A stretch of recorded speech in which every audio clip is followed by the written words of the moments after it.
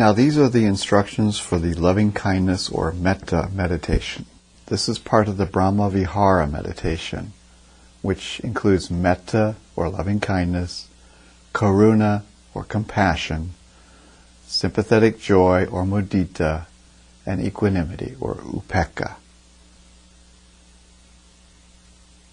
Now start like this.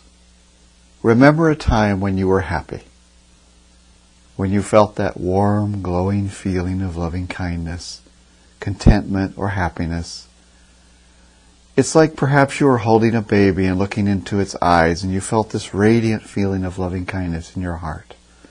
Or perhaps a puppy or a kitten. Now take that warm feeling and radiate it to yourself. Help it along with phrases like, May I be happy. May I be content. May I be peaceful. Or whatever wholesome feeling you're feeling at the moment arises. Now sit for 30 minutes minimum and do not move. No twitching, no moving, no itching, no adjusting.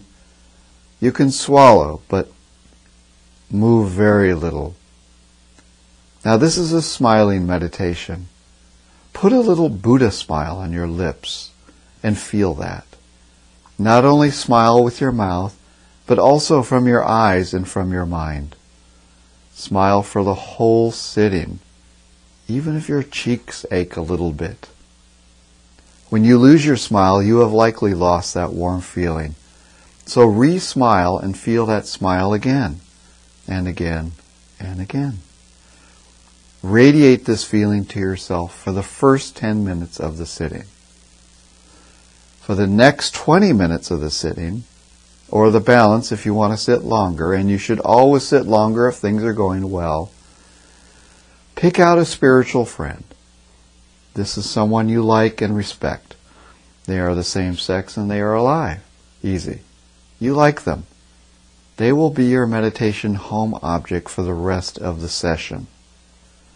For the balance of this meditation sitting, send loving kindness to this spiritual friend. Put them in your heart. Radiate this warm, glowing feeling of loving kindness to them using phrases like, May John or Mary be happy. Just as I feel this warm, loving kindness for myself, may they also feel this feeling for themselves. May they be safe. May they be content. May they be peaceful. Don't make it a mantra. Just help along the feeling. If the feeling's strong, then no need to say a phrase. Just be with the feeling of loving kindness surrounding them in your heart. Now your mind is going to wander away. At first you might only be on the meditation object for five seconds or at most a minute. The hindrances of sensual desire, aversion, doubt, restlessness, or sloth and torpor will come to distract your mind away from radiating that happy feeling to your friend. 6R it.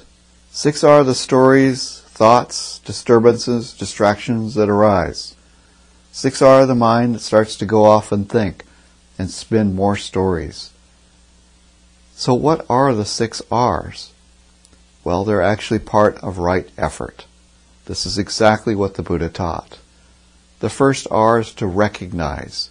Recognize you were taken away from your object of the feeling of loving kindness. And what took you away? An unwholesome feeling, a distraction, a hindrance. The second is to release your attention to that feeling, to that unwholesome feeling, that distraction, that thing that took you away from your object. Just stop thinking those thoughts right there. Just release them. The third R is relax. Relax any tension and tightness that was left and that keeps pulling you back to thinking those thoughts or even beating yourself up for having them. Just relax, especially the head. Where does thinking start? It's always in the head. There's subtle tensions and tightnesses that are there. Relax those. Then re-smile. Bring that little Buddha smile back. Put that on your lips, through your eyes, and your mind and feel that smile. The fifth R is return. Return to the feeling of loving kindness and stay with that until the next distraction arises. Stay with your object of meditation for as long as you can, but when your mind wanders away, 6R. The last R is just to keep it going. Repeat. Stay with loving kindness and your spiritual friend. Run these six R's when you get distracted again.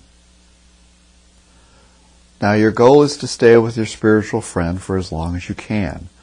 Do not push or try too hard. Just do it. Pretend you're on a vacation and you're just relaxing comfortably, without a care in the world. Share this contentment with your friend and smile. Don't push. Just like when you hold a baby, you don't try to feel love.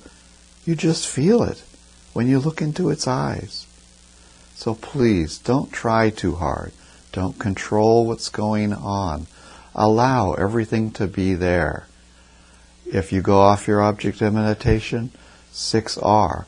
Recognize, release, relax, re-smile, return, repeat.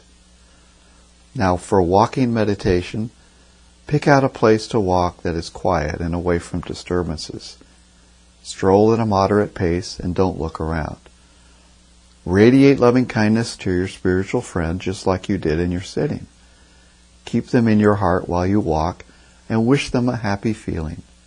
6R whenever there is a distraction. This is the same as sitting meditation, except now you're walking. And when you get really good at this and things start to happen for you, don't hesitate to send us an email at info at dhammasukha.org. We'll give you the next steps as you progress. And may all of you attain Nibbana quickly.